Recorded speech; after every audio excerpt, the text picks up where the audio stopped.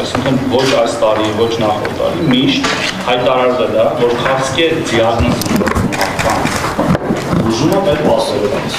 Հա, իրավատություն, քիմիաթերապիա։ Կա դե։ Բայց այդ դեպի պատերի դրամաների մեջ գրած է, որ քաղաքացի վճարում է այդ բուժման 80%-ը, պետությունը վճարում է 20%, այսինքն 100.000 քաղաքապետությունն է վճարում, 300.000 քաղաքացին վճարում, իրենք բանտից 400.000 տարբեր իրադարձությունների համար տարբեր։ մենք ընդհանրը, ընդհանրը համավճարի մասը, որը առաջ վճարում էր քաղաքացին, վերցրել են մեր վրա ունենալով հաշվարկ, թե տարեկան քանի նման վիրահատություն է արվում Հայաստանում գործող բուժհաստատություններում, ովքեր մատուցում են քաղցկեղ ծրագրով ծառայություններ եւ հաշվարկելով թե ինչքան բյուջետային աճում ենք մենք 2019 թվականի համար, այսինքն շատ པարզ է ամեն ինչ։ Արվել է, ասենք 500 միլիոն դրամի հավելյալ ներդրում է ծրագրի վրա, որը փակել է այն համավճարը, որը առաջ եղել է։ Մենք ոչ մի վատ, վատթարացնող բան չենք արել։ Մենք ընդհանրը քաղաքացիների վրա դրված օրինական բեռը, որ օրինական է եղել, սֆերային բանին չի վերաբերում շրջանառությանը։ Ասել ենք դուք այդ օրինական բեռը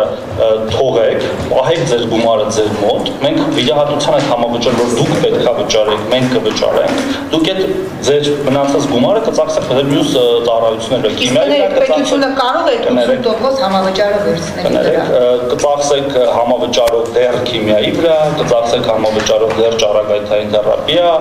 կծախսեք չգիտեմ այլ դեղորայքային բուժումների վրա պետությունը այս պահին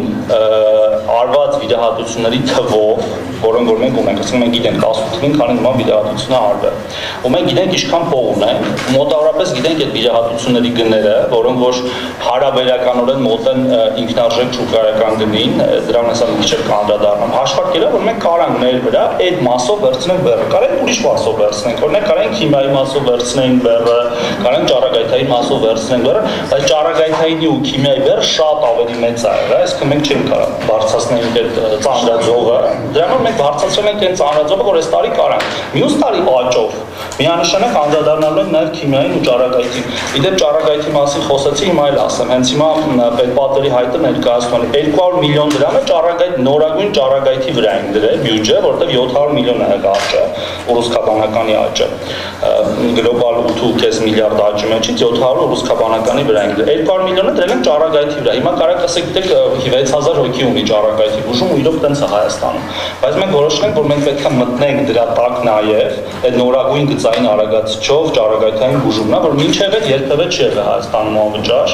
Այդ 200 հոգի 200 միլիոն դրամն է մոտավորապես հերիքելու է 200-ից 300 հոգու համար ընդհանրապես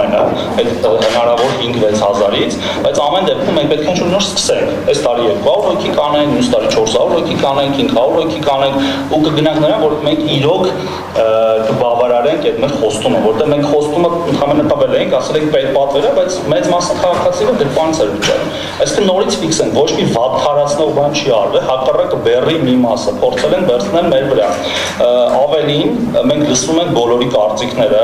որ չի հերիքելու, քիչ է եւ այլն։ Այնտեղ խնդիրը եղել հիմնականում ցանկերի հետ կապված, որոշ վիրահատություններ պրոստը գրված չէր մեր ցանկերի մեջ ու որոշ վիրահատությունների գներ մի քիչ ցածր ա եղել համաձայն ենք, որոշն կարող քիչ շատ ցածր ա եղել, դա էլ ենք վերանայում տարվա մեջ